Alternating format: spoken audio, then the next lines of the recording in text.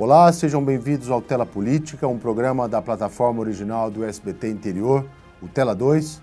Meu nome é Juliana Bocata e a partir de agora a gente começa a entrevista com o prefeito de Olímpia, Fernando Cunha. Seja bem-vindo, prefeito.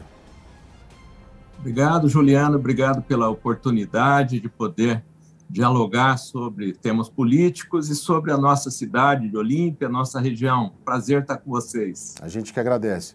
Prefeito, a gente sabe que as cidades todas, mundo afora, não é diferente no Brasil, tem um desafio aí que é a pós-pandemia, né? A gente sabe que Olímpia também é uma cidade que vive praticamente do turismo, é a grande força da economia da cidade. E esse turismo foi embora durante esse período. Como que Olímpia está fazendo para retomar o setor turístico da cidade e trazer de volta os hóspedes que foram embora? Bom, o, Juliano, para nossa boa surpresa, é, a economia de Olímpia é menos dependente do turismo que a gente imaginava. Mas, mesmo assim, mais de 50% é dependente do turismo. Nós ficamos sete meses fechados, né, os nossos parques, e voltamos. É, acredito que é o seguinte: os pequenos empresários são empresários locais e que tinham outras atividades, conseguiram atravessar bem sob o ponto de vista econômico e financeiro. E os grandes grupos são grandes grupos profissionalizados, estavam capitalizados, também é, conseguiram atravessar e voltar agora é, bem posicionados. Eu acho que, é, pela abertura que nós tivemos, né, foi já em, a partir de maio, a população parece muito disposta a, a sair de casa, a fazer turismo. E as nossas instalações estão aptas, né? nós conseguimos é, ter a felicidade de que os grupos empresariais estão bem estruturados, não, não foram fechados hotéis, parques, né? então eles estão preparados para receber bem o turista.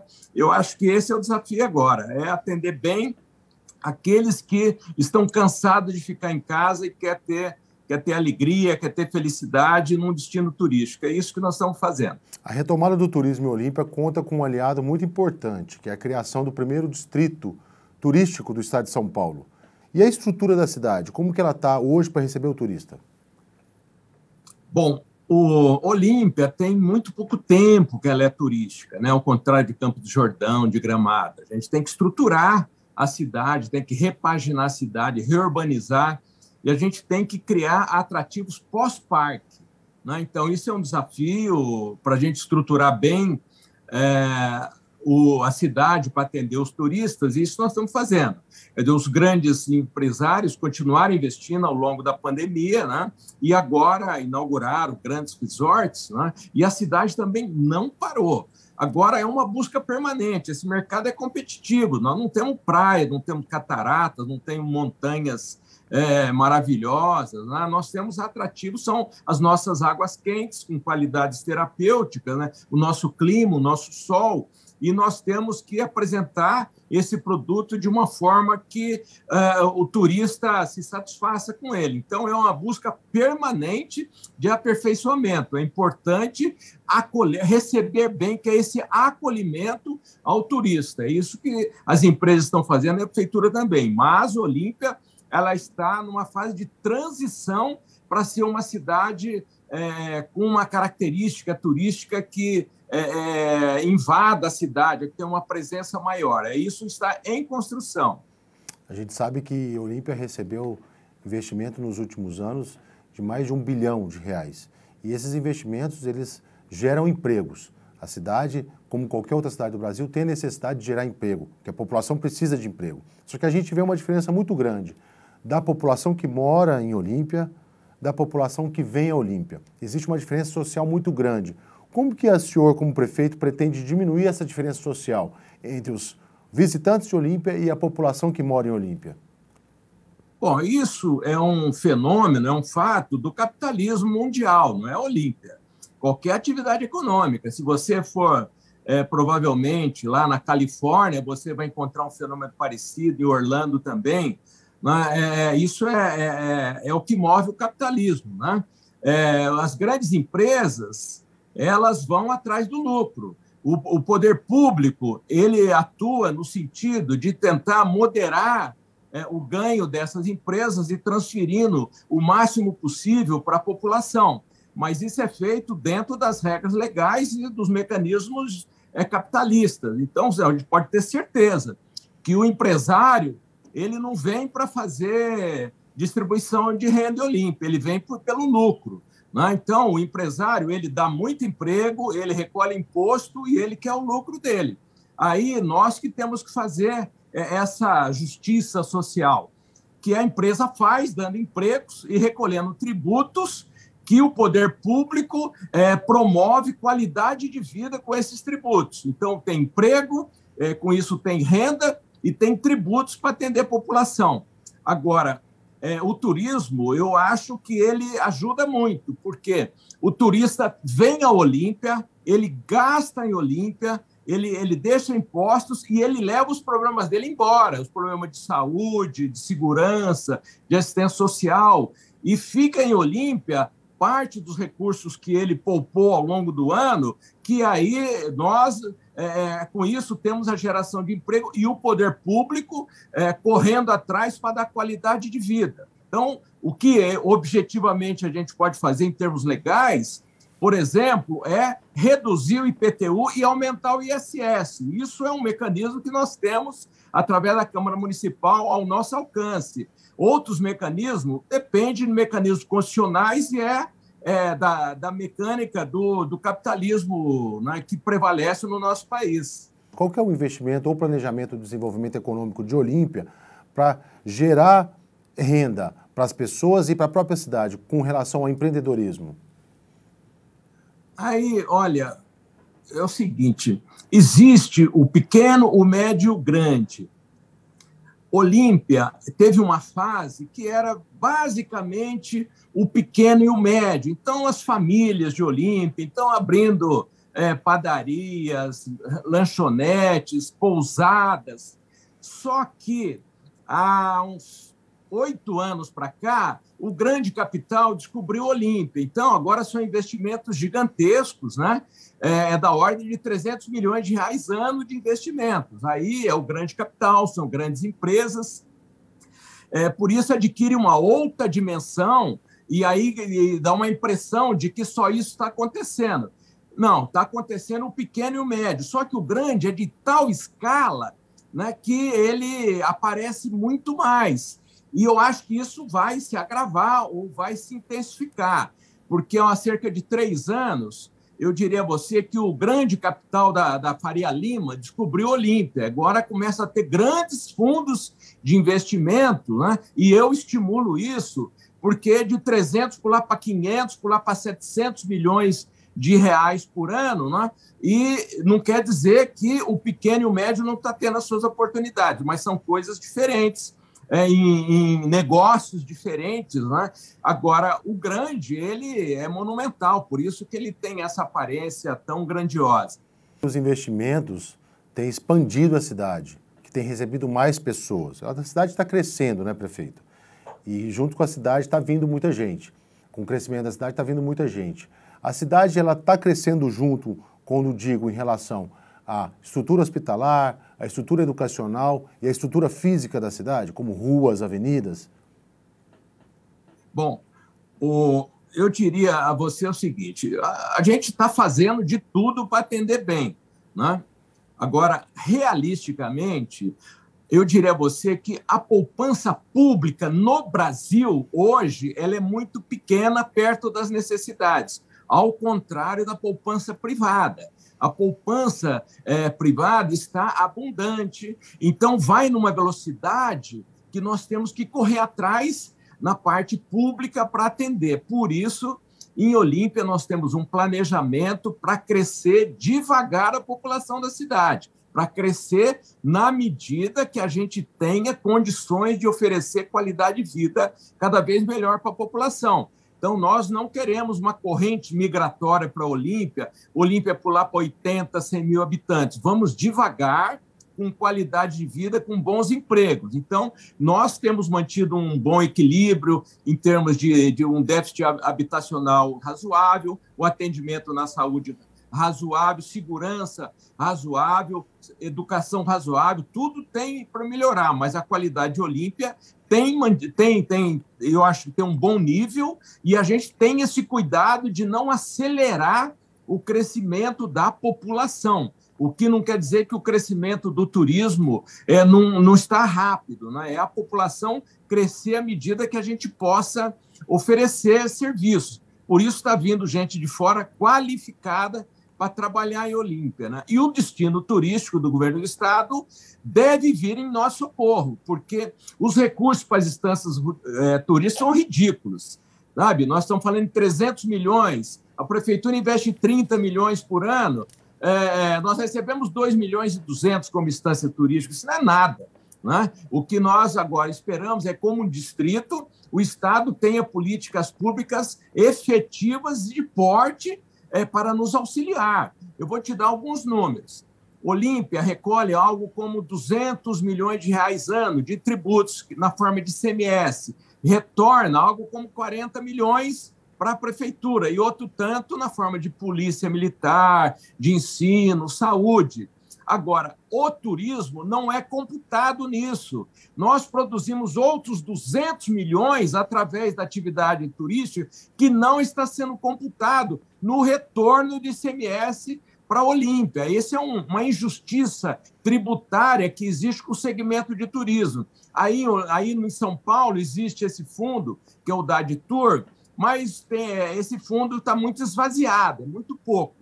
Eu acho que o Estado deve uma atenção maior e deveria aportar mais, é, que será parte, pelo menos, daquilo que o Olímpia está transferindo para o Estado. O senhor pretende, então, é, requisitar maior, uma fatia maior do que o Olímpia teria direito, então, para conseguir acompanhar esse desenvolvimento privado e o desenvolvimento público fazer páreo a páreo o desenvolvimento privado, com estrutura, com ruas, avenidas, saneamento básico, é isso?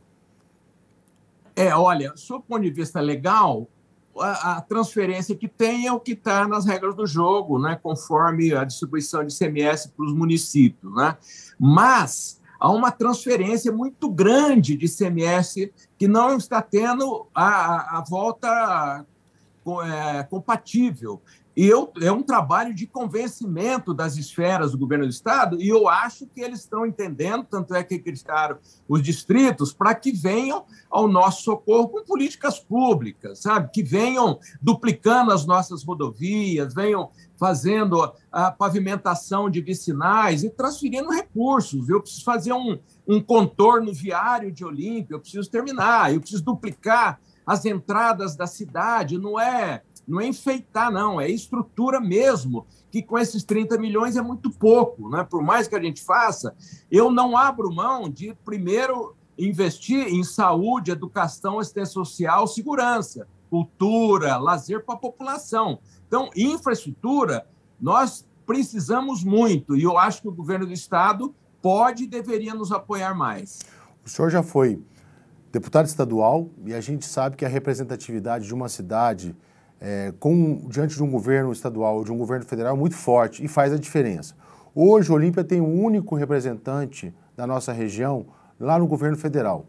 Isso está fazendo diferença para a cidade ou ainda precisa ser feito mais?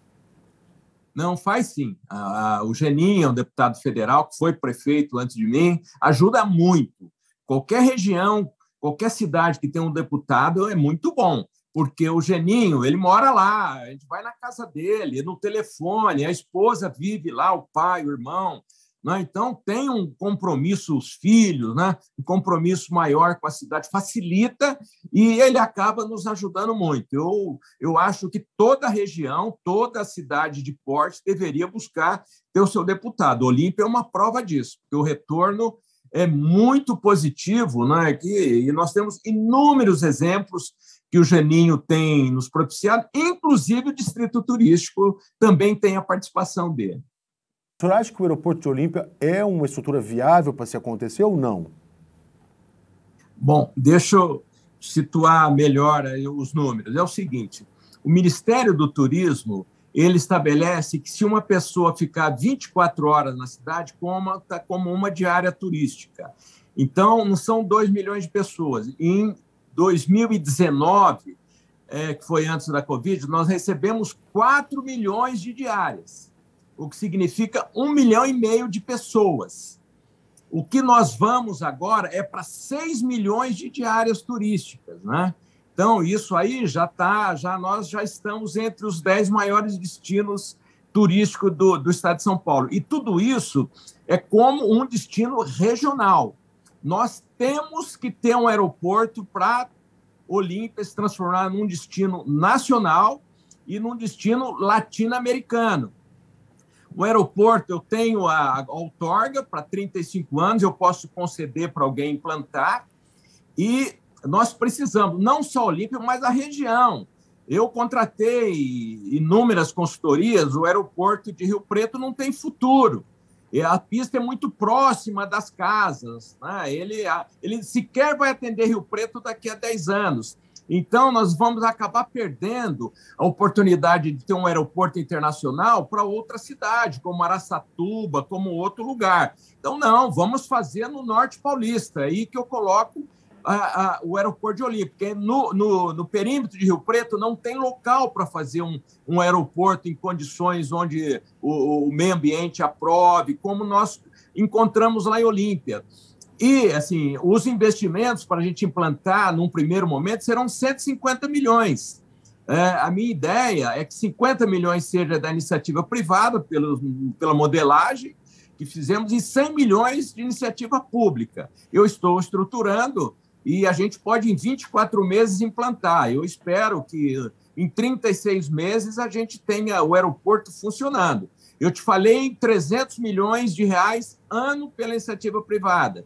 Quem põe 300 milhões por ano é, já tem bilhões lá e bilhões sendo investido, pode participar desses 100 milhões. Eu acho que é, é, essa é uma vantagem de Olímpia. A, a, a, ordem de grandeza dos números absorve essas iniciativas menores, como um aeroporto, como um grande centro de convenções.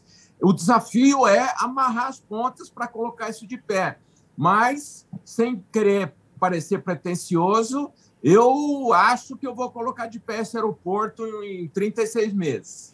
Prefeito, a Olímpia entrou para a região metropolitana de São José do Rio Preto no segundo tempo. O mais importante é que ela entrou, tanto Olímpia como Severina. O senhor acredita que a região metropolitana de Rio Preto, com a entrada de Olímpia, ganhou muita força e pode conseguir trazer esse tipo de estrutura para a cidade? Olha, eu sou, eu fui um defensor, eu lutei muito, foi um convite do Edinho, uma iniciativa do Edinho, mas depois eu assumi por quê? Porque Rio Preto é a grande metrópole nossa. Agora nós temos um milhão de habitantes na região metropolitana de Rio Preto. Isso é, é peso político, isso é um grande mercado. Olímpia agrega para a região metropolitana é, o turismo. Então, nós estamos então com São José do Rio Preto hoje podendo falar a região metropolitana que está entre os 10 principais destinos turísticos do Brasil e está entre os cinco maiores é, em quantidade de leitos hoteleiros do Brasil. Então, é isso nós estamos agregando para Rio Preto e com certeza Rio Preto vai ajudar muito o com a importância econômica e política que Rio Preto tem. O senhor bem falou que Olímpia não é só o turismo. A gente sabe que Olímpia também é agronegócio. A gente tem grandes indústrias agronegócio instalada na cidade. Qual que é o planejamento de desenvolvimento econômico para essas indústrias e para trazer mais indústrias desse tipo para a Olímpia? Olha, o, a gente não pode se iludir muito. Cada cidade tem a sua vocação, o seu foco. Eu fiz no meu primeiro mandato um trabalho enorme de captação de indústria. Nós temos um problema sério: falta mão de obra. As empresas, eu, nós abordamos o Faquini, por exemplo, ele falou: ah, tá bom, vou pôr uma indústria, daqui a cinco anos eu não tenho mais funcionário, está todo mundo no turismo. Então, nós temos que ter é, é, contar com, essa, com, essa, com esse fato. A nossa vocação é o turismo. Agora, eu penso muito em uma área estruturante que é a área de logística. O comércio tende a ser digital e ele terá que ter muitas empresas de logística. Né? Então, isso sim, É, nós estamos no, no, numa região central do estado, cortado por grandes rodovias, fazendo um grande aeroporto. A área de logística é uma área que a gente deverá se desenvolver. E o agronegócio aproveitando o que nós já temos lá. Entendi. O agronegócio continua em expansão ou ele está retraído por enquanto? Não, nós temos a Terios, que a matriz é lá, é uma mega empresa, é o carro-chefe, e o que a gente tem forte crescendo são as indústrias de insumos agrícolas, né? fabricante de fertilizante, de inseticidas. Né? Então, a Kimberlite está montando uma indústria monstro de bioinseticida, que é o futuro. Né? São inseticidas é, feitos com produtos é, naturais, como fungos, bactérias. Então, essa indústria de insumos agrícolas é crescente e eu acho que essa tem futuro na nossa cidade. Prefeito, a gente sabe que tem algumas questões que ainda não foram resolvidas em Olímpia. Né? Uma dessas questões que ainda não foram resolvidas em Olímpia, que ainda, ainda caminha a passos pequenos, é a questão da exploração das águas quentes, né? das águas termais quentes. Como que está a situação e como que a prefeitura toma a frente disso nessa questão? Bom, a gente tenta identificar os problemas, estudar os problemas e escolher soluções e planejar a implementação. Aí nós temos um, um trabalho de implementar segmentos que nós ainda não atendemos. Então, o, o, o, turismo de negócios, implantando um grande centro de convenções, está a caminho. Né? O turismo de comércio, um grande outlet, está a caminho. E nós temos um projeto de um grande spa balneário, usando as nossas águas termais, é, com qualidades é, também químicas importantes, né? e nós fizemos um, uma hermanação com a Olímpia grega para poder trazer o conhecimento que eles têm no uso terapêutico. Então, isso está planejado, está é, já escolhemos a, a, a área né, que nós vamos oferecer para a iniciativa privada, fazer um grande spa, um grande balneário. Né? E nós temos que ficar monitorando a qualidade e o nível do nosso aquífico Guarani, que é a nossa riqueza. Fernando Cuia, como gestor e como político, qual é o legado que ele quer deixar para a Olímpia? Olha, eu eu sou um gestor, né? Eu não sou um político profissional, não vou fazer carreira, vou parar por aqui, né? Você prefeito tá bom demais.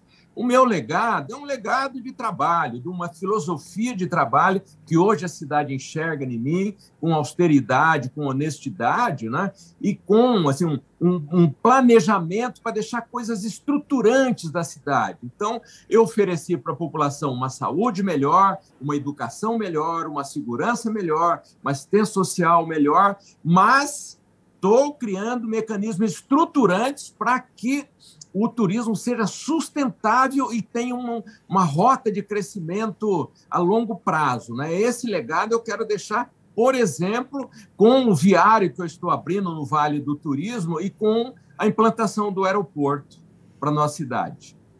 Tá certo, prefeito. Te agradeço aí pela sua participação no Tela Política. Foi bem gostoso o nosso bate-papo aqui. Eu agradeço, fico à disposição. É uma honra poder falar com vocês em perguntas tão inteligentes, tão desafiadoras que você me fez. Tá certo. Muito obrigado, prefeito. E muito obrigado a você que acompanhou o Tela Política, mais um episódio com as entrevistas dos prefeitos das maiores cidades do Noroeste Paulista. Fique com a gente, até a próxima.